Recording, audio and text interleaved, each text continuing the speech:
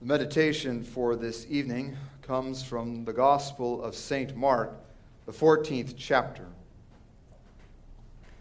It was now two days before the Passover and the feast of unleavened bread. And the chief priests and the scribes were seeking how to arrest him by stealth and kill him. For they said, Not during the feast, lest there be an uproar from the people. And they led Jesus to the high priest. And all the chief priests and the elders and the scribes came together. And Peter had followed him at a distance, right into the courtyard of the high priest. And he was sitting with the guards and warming himself at the fire. Now the chief priests and the whole council were seeking testimony against Jesus to put him to death, but they found none. For many bore false witness against him, but their testimony did not agree. And some stood up and bore false witness against him. But their testimony did not agree, saying, We heard him say, I will destroy this temple that is made with hands, and in three days I will build another, not made with hands. Yet even about this their testimony did not agree. And the high priest stood up in the midst and asked Jesus, Have you no answer to make? What is it that these men testify against you? But he remained silent and made no answer. Again, the high priest asked him, Are you the Christ, the Son of the Blessed? And Jesus said, I am.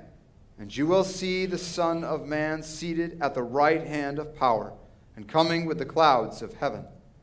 And the high priest tore his garments and said, What further witness do we need? You have heard his blasphemy. What is your decision?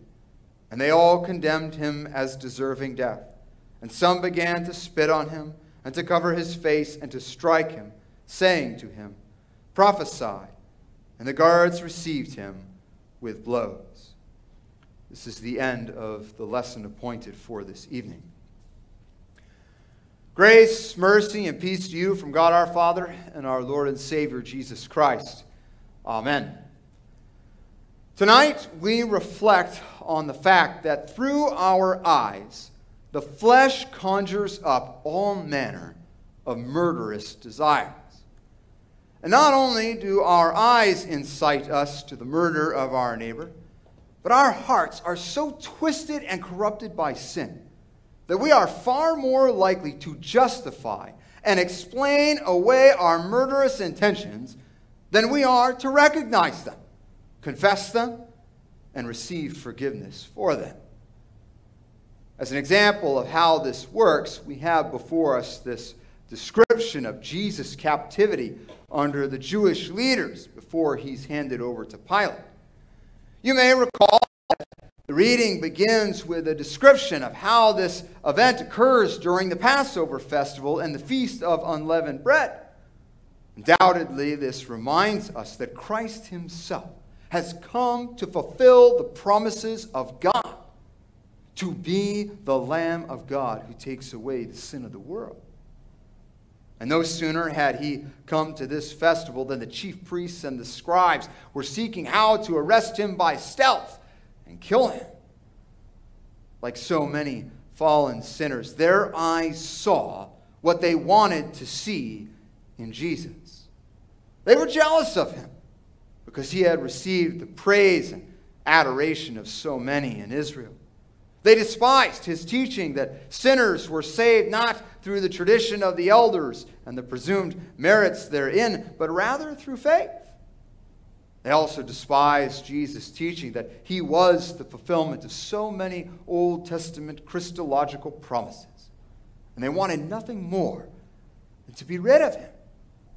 When they looked at Jesus, they just wanted to kill him. And so they set a plot to have him captured. And when Jesus is brought before them, in reality, they really do the most natural thing with him. They look for any and every reason to blame him. They want to find a reason to justify their own indignation. They are not going to recognize their own sins. They're not going to confess that what they're doing is wrong. And they definitely see no need for forgiveness in what they're doing. They want to justify the murderous desires of their eyes. And they will do this by trying to convince themselves and everyone else that what their eyes are telling them about Jesus is true, even though it's not. So they drag out all these witnesses. And there are more than enough who are willing to tell the chief priests and the elders and the scribes all that they want to hear, what accords with their foolish sight. The only problem is all these witnesses don't agree. Even when it comes to the intentional distortion of Jesus' words about this destroying of the temple and its rebuilding, they can't keep their testimonies straight. The false witnesses seem to be so bad that finally the high priest just decides to interrogate Jesus himself. So he asks the man he wants to kill Are you the Christ, the Son of the Blessed? And Jesus who is the only one whose testimony is true, replies, I am. And you will see the Son of Man seated at the right hand of power and coming with the clouds of heaven. Jesus gives the honest, truthful answer. And the high priest, he's like enraged because when he looks at Jesus, he doesn't see what he believes or thinks should be the Christ.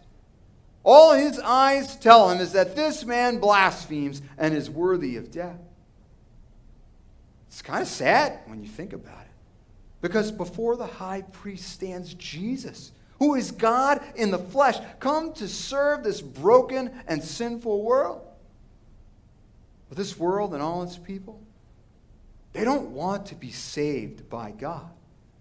They want to be their own gods instead whose only justification comes by their own words and their own works. That's the way it was at the time of the fall. That's the way it was at the time of the handing over of Christ. And that's the way it still is today. We sinners, like the high priest, don't naturally want a merciful God in Jesus Christ. We hate that. We would rather kill that sort of God and replace him with ourselves. And that's true. It really is of us.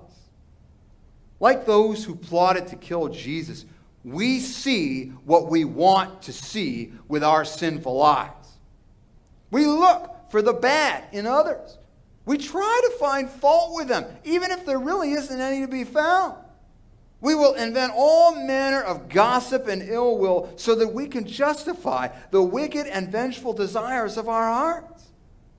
When we look out at others, it's natural for us to see them as always bad and us as always good. And given the right time and circumstances, it would be us crying out for the death of our neighbor, and even more so for the death of our God.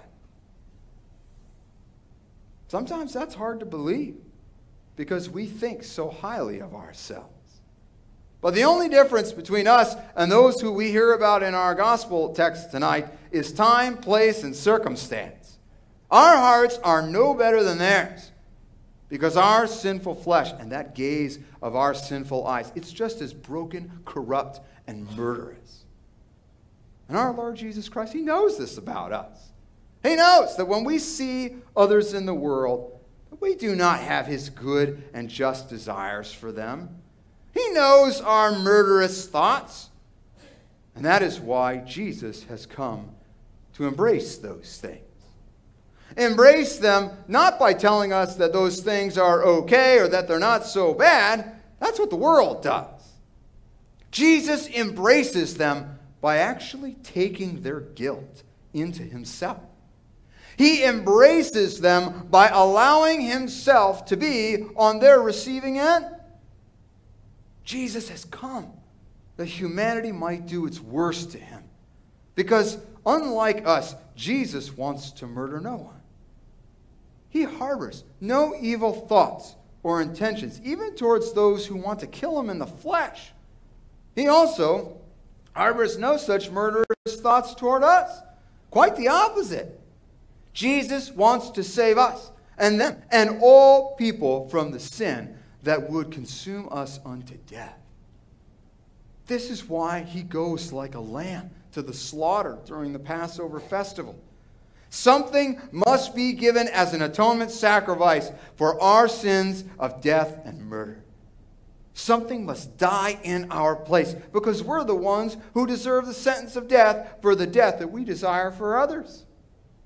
And that something given is the promised Christ, the Lamb of God who takes away the sins of the world. He will allow himself to be murdered in order to rescue every murderer. It's why he will take the place of the likes of Barabbas. The whole wrath of God that he doesn't deserve, that will fall upon Jesus as if he were the greatest murderer who ever existed. Jesus must become, in the eyes of God, the greatest sinner of all. For only by such a plenary substitution and atonement can the sins of all be paid for. And paid for they are, because the death of Jesus, that the leaders of the Jews so much desire, is exactly what comes about. And when Christ dies, he dies for you and me and those who killed him. He dies for everyone. Every evil thought, every harmful word, every murderous look and action has been paid for. And in return, he gives the remission of our sins and the righteousness of God through faith. In this sacrificial body and blood of Christ has come the payment price for our sins, a righteous death in our place. And now Christ gives this death to us. He attributes his own death to us so that we look like we've actually justly died to our sins. Imagine that. We deserve to die for our murderous gazes. But instead of having to die forever and be banished from the love of God for all eternity, God chooses to look at us through his Son. That's what he sees. And he chooses to see us as dead to sin and alive to the righteousness of God in him. That's exactly what happens when we are baptized. We are buried with Christ as if it were us who hung on that cross and were placed into that tomb. Jesus drowns our old Adam daily through the promise of the Word of God and the water of holy baptism. And each day we arise anew to live as that repentant, contrite, and trusting people that God has called us to be. And now we live set free from the ruling power of sin and the eternal judgment of God over it to live as those who truly live in the Son of God. We live to no longer see the world according to the murderous gaze of the flesh, but with a view to the mercy of God in Christ Jesus. To see the world from the love of God that has been given in the perfect life and perfect death of the Son of God. Yes, there will be sin and evil in the world.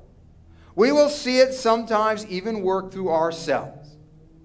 But this is not properly who we are any longer. Instead, we have held before our eyes the righteousness of Christ won for us at the cross and given to us in our baptism. We see ourselves as the people of God, called and washed from our sins. And we look out and we see a broken world and fallen corruption, but it is a world for which Christ himself has died. And we know that whatever we face in the world, we do so as those who are not destined to perish eternally without hope, but those whose hope is certain because of the forgiveness of sins we have received and the good news of our Lord Jesus Christ. So when you find your old flesh trying to make you look at the world with murderous eyes, may that new man in you look to the crucified Christ instead where your true hope and life is found, here in this life and forever in life eternal. In the name of Jesus, amen. Let us now rise as we continue with the singing of the canticle on page 231.